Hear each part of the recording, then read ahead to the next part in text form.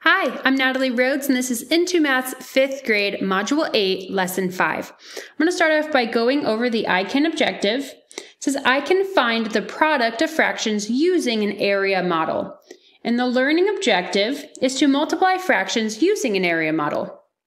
The prior learning is that students represented the fraction a over b as the product of a and 1 over b.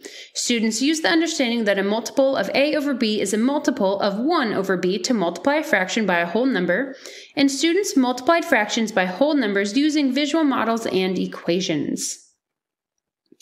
All right, so jumping into the lesson on page 199, we have a word problem that says a contractor buys rectangular floor tiles for a home that he is building. How can you find the area of the tile? Use the square to help you find the area of the tile. Explain your reasoning. Okay, so the tile that we have is three fourths of a foot by one third of a foot.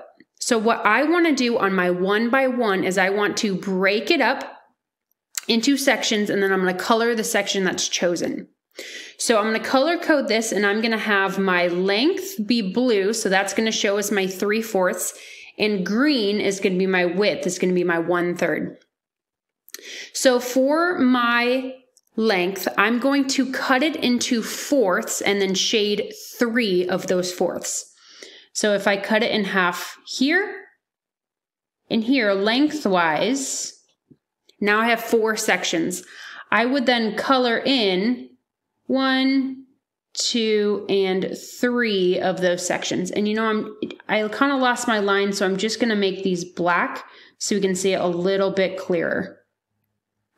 Okay, now for my one third, what I'm gonna do is I'm going to cut it three times the other way. So this way I'm gonna be cutting it one, two, and three. And then I'm gonna be coloring in just one of the sections going this way.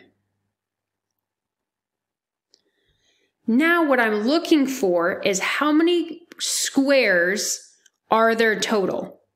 Well, I have three by four, so I have 12 total squares available. That's my denominator. How many are available? Then how many are chosen? And this part is how many are chosen by both colors. So how many squares are both blue and green? Well, if we look here and I'll circle them in red, the blue and green only overlap with these three squares. So what I would say is that my numerator is going to be 3. So I know that 3 fourths times one third, if I were to multiply it out, would be 3 twelfths. Because 3 times 1 is 3, and 4 times 3 is 12.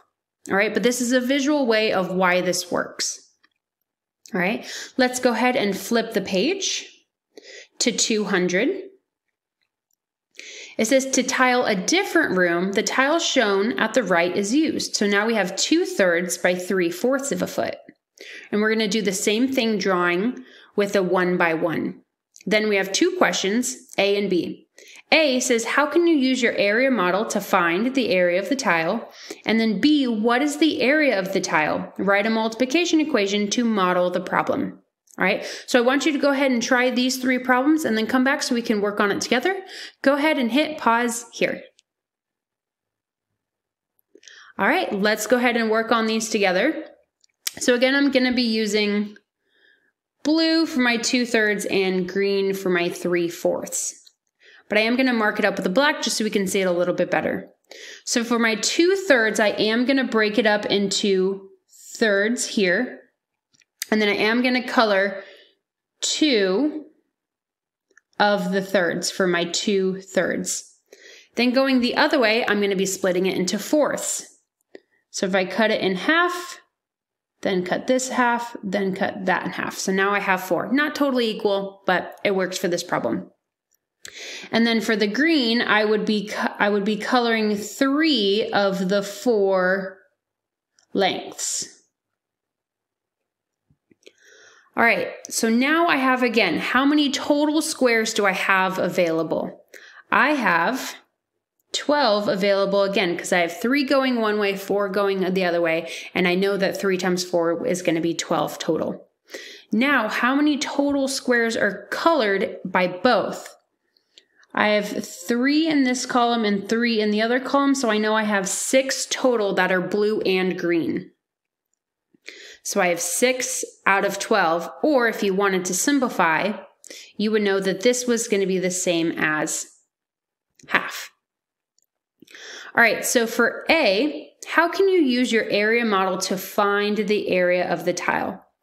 Well, essentially, all I'm going to be doing is I'm making three columns and four rows.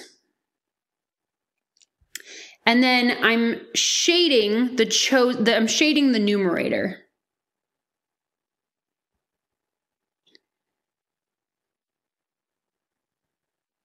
I'm shading the numerator and then I'm looking for what's shaded twice or is overlapped in shading.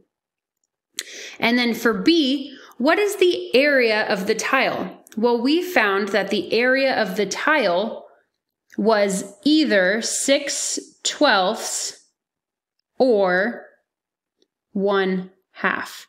And then the multiplication equation that we have is we want to multiply the two numbers times each other. So I have my 2 thirds times, because I know area is length times width, so 2 thirds times my 3 fourths. And with multiplication, all we're doing is just multiplying straight across the numerator and then straight across the denominator. So 2 times 3 is 6, and then 3 times 4 is 12. And there comes my 6 twelfths. And again, if you want to simplify, which you should be doing, you are going to be getting half.